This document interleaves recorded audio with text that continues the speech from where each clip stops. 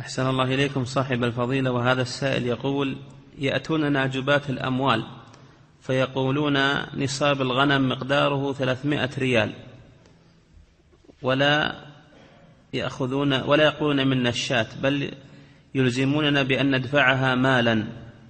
فما الحكم في ذلك؟ نعم هذا هو الذي عليه العمل لأن العمال ما هم باخذين الغنم يسوقونه ويروحون. به إنما يثمنون الواجب يثمنون الواجب ويأخذون دراهم أخف نقل وأضمن. هذا للمصلحة والعمل عليه. نعم. وهم عمال يمثلهم ولي الأمر. نواب عن ولي الأمر. فإذا دفعت لهم تبرد ذمتك إن شاء الله. نعم.